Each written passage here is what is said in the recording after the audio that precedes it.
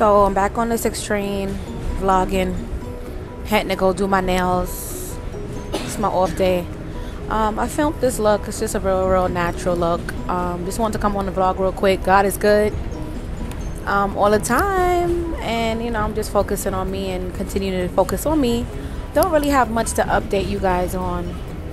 I've been off for the past two days and I'm just relaxing. Like I said, going to do my nails. I may try to vlog while she's doing my design or something.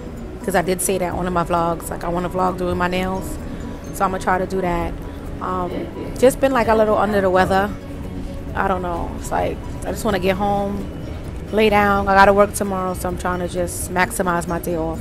But um, just wanted to come on real quick and vlog. I'm good. Maintaining I'm here. So if anything, I'll talk to you later in my vlog and enjoy the video. Bye.